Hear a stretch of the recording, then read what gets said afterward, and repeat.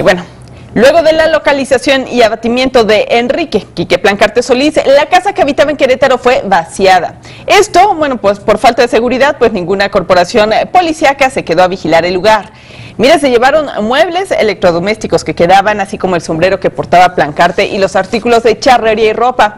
Por su parte, Alejandro Arteaga, edil de Colón, él dijo desconocer el saqueo y argumentó que el municipio no estaba a cargo de resguardar la vivienda. También señaló que para evitar otro acto de rapiña, la puerta del lugar fue atrancada con un palo y un alambre, bien segura ella.